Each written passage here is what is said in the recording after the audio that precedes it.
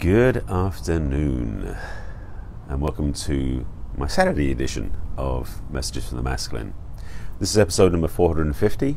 Yes, 450. And today's topic is why you need to learn self love to succeed in life. I'm going to be very blunt in this talk, I think. So, before I get into that, let me introduce myself and let you know who I am and begin the conversation.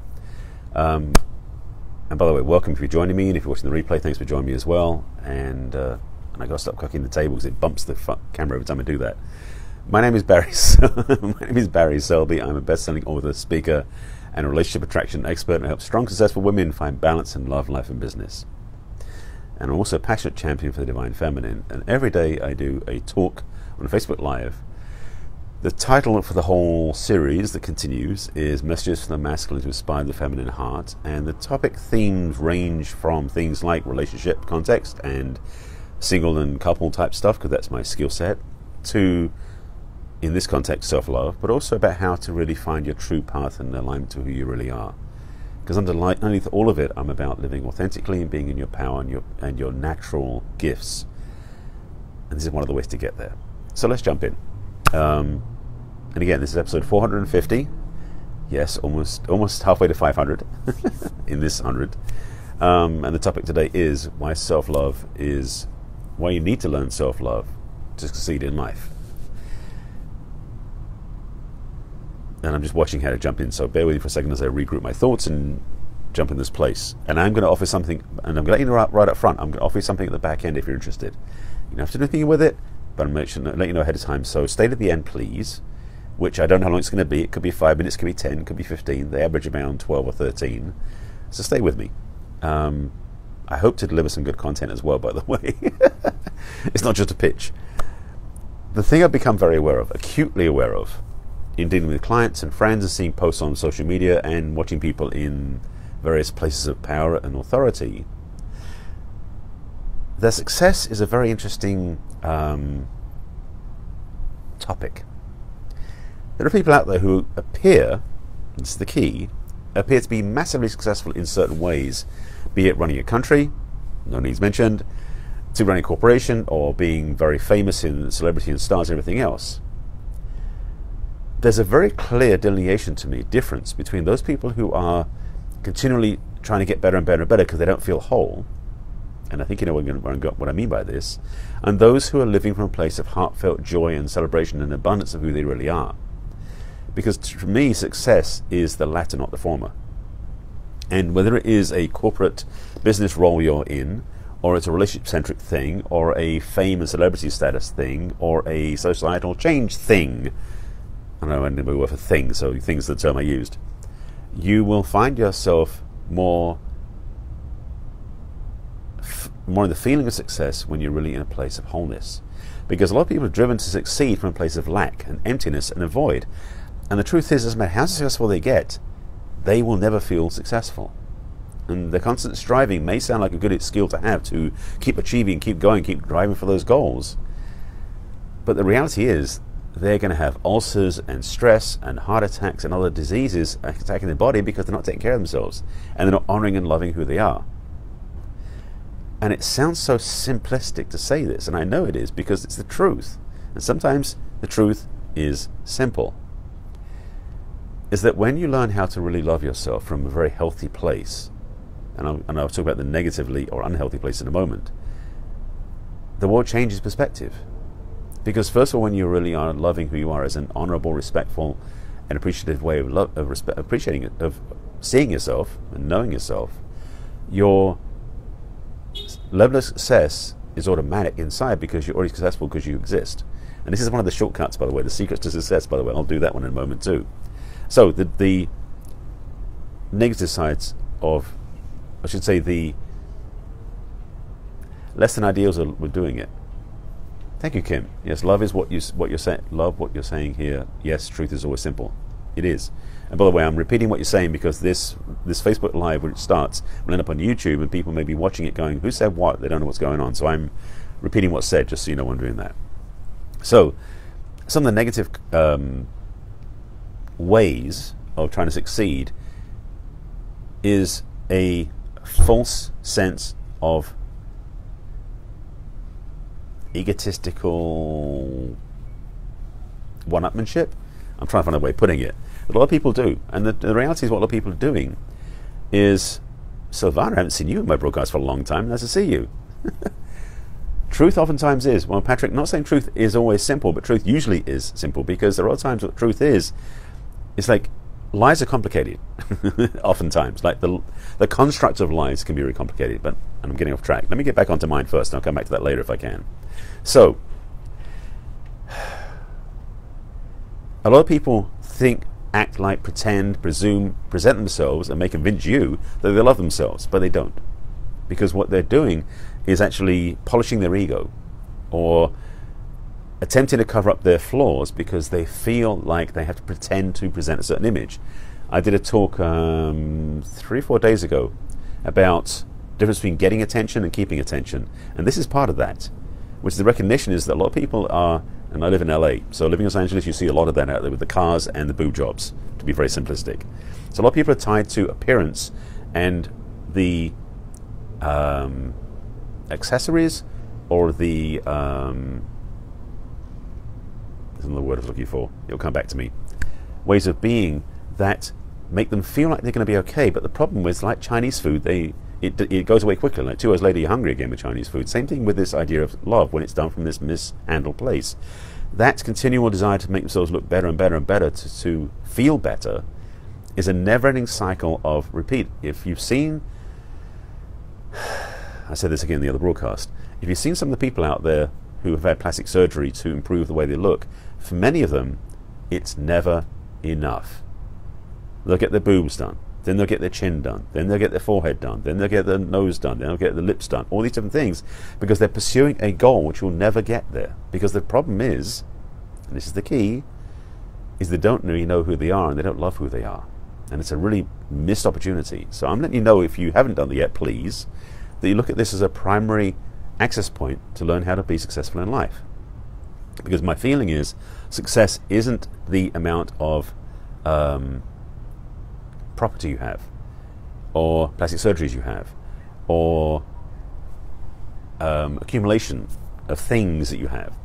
That may appear to be success because society likes to teach you that, but the reality is that stuff is all transitory.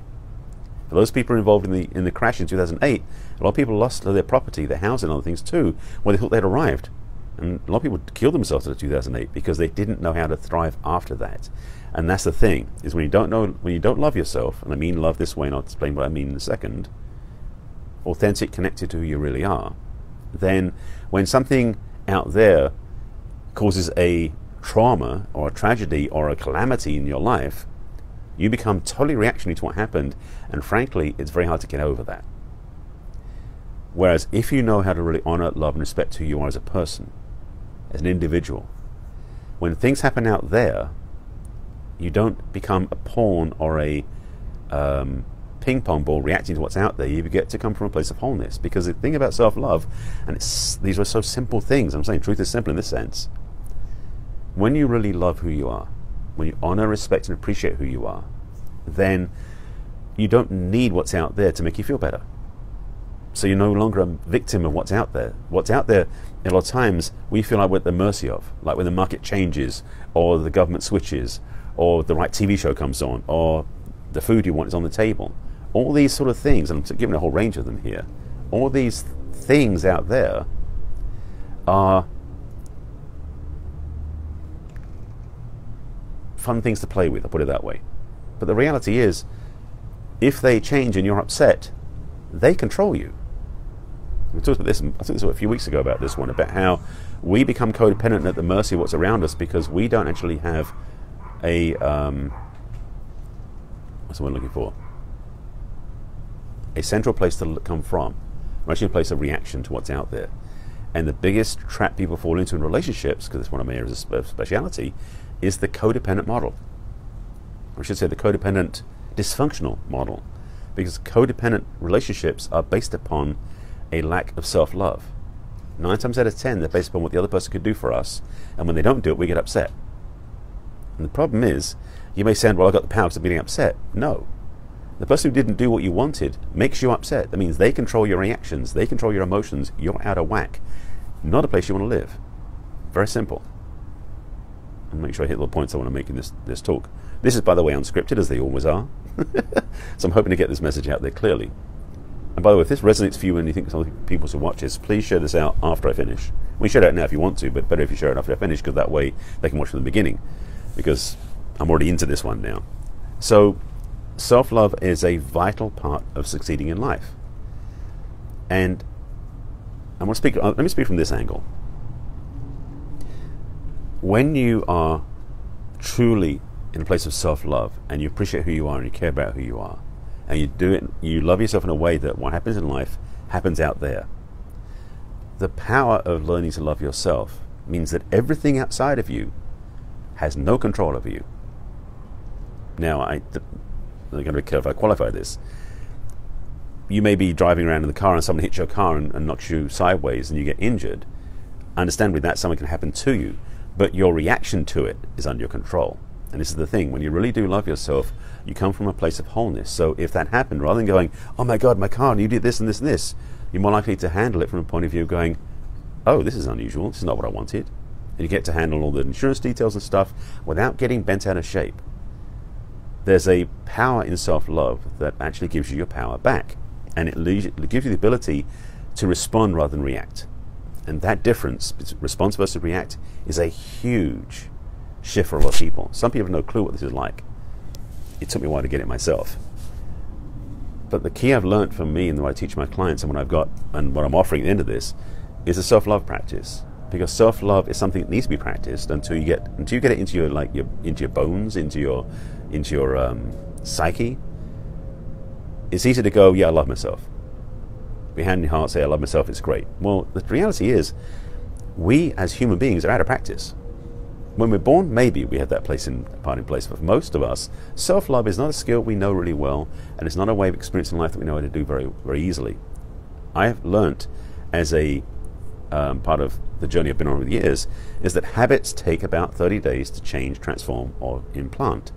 So when you're doing something like self-love, for example, if you just do it once in the morning and you go, I'm feeling great, I love myself, great, or you do a you go to an event or a seminar where everyone's like loving each other and saying, we love each other, we're all great, we're wonderful, if you don't do that repeatedly for a month, I guarantee you, about two or three weeks after that event, you'll forget all about it and you won't remember what happened. So, self love is a thing like any other skill that should be practiced. And I mean it in the sense that if you practice how to love yourself, right, let me break it down. The self love practice I'm going to offer at the back end, and you'll hear about in a moment, keep, I keep promoting it, is basically a mirror exercise where you connect with your eyes in the mirror and look into your, into your own eyes and you tell yourself you love yourself. And you do that for a period of time, ideally for five minutes or more. You do it twice a day for 30 days. It sounds so simple, but it's so easy to get off track. You forget, you don't do it, other things happen. So, at the end of 30 days, if you do do that, you start reinforcing a new habit, which actually increases your ability to love yourself and then love other people. And when you do have this place of self love um, fueled and inspired, it's a reservoir that you can tap into. It's a place that you come from where the world around you responds versus reacts to you, the same as the way that you are responding and not reacting to the world around you. I'm attempting to give you like some some small insights into what this is about because the reality is self-love is something that is so underrated, so underrated, and yet also overlooked, under over. but also the piece people think about self-love is the thing you do in, in, in relationship. I'm talking about, and what I said about success in life is because when you love yourself, the way you relate to money changes, the way you relate to your health changes, the way you relate to your co-workers changes, the way you relate to service personnel changes, the way everything in your life reacts to you changes based on how you actually love yourself. And that shift will change and transform your life experience in a way that you can't even imagine until you do it. So I mentioned how this thing works, but the one I've actually created, and I'm going to let you know now, is I've got I've created a a, medit- a guided meditation, my voice on audio with music in the background. Sounds so nice. Um, but basically, there's a morning one and an evening one that are designed to help you connect to yourself and feel in love with yourself, and then, in a way, integrate before you go out in the world. So you set up your day to match that mode, going that vibration through the whole day. That's the morning meditation. The evening meditation is the same mirror process working with that, bring it inside. And at the end of it, you're, bring, you're bringing gratitude to everything that happened over the day. It's actually a bookend for the day, morning and evening, and it goes together. Two audio meditations um, that I love. They, they, they work. With that is also a guide that I created, which basically is the documentation of what I talk about all the time, written it down in a way that makes sense about the strengths, the power, the effects, the prices you pay, how to do it. And I also include in this one, for those of you who have, um, you can work in the self love, but you feel like you've got some image, some body image issues, some challenges with your self physiology. And this came up because a lot of people I know in LA have body image issues. That's why they're working so hard with working out or eating right diets or doing plastic surgery in the written book, I didn't do it in the verbal because that's, that's a different one. In the written um, guidebook, I actually explain how to do the process so you start loving your body as well as yourself. And frankly, if you do those two things, and if you've got body, if you have body image issues, or you just don't know how to love yourself, this will change your life. Absolutely, will change your life. And the reality is that you are the only one stopping you from doing this. It's not to anybody else. You can do it. So I've told you what it is, I'm telling you how it works, and I'm very passionate about this, as you can tell probably from my broadcast. But I figured I'd do a broadcast today just speaking specifically about this one topic and what I'm offering you. The self love practice I offer, which includes the two audios and the guidebook, is on my website, and you can check it out and, and download it if you want. It's barryselby.com forward slash self love. Self love is a one word. And that will help you with a man or woman, child, adult, whatever you want. You can do it yourself. You're welcome, Patrick. Thank you for watching. So, I've got some people already started, started getting it and using it, buying it and using it. And I'm waiting to hear feedback because the thing is, I've got to wait a month. Because in the way I've written it out is at the end of the month, I want to hear from you. So, by the way, it's not something you just take and put in the closet, as it were.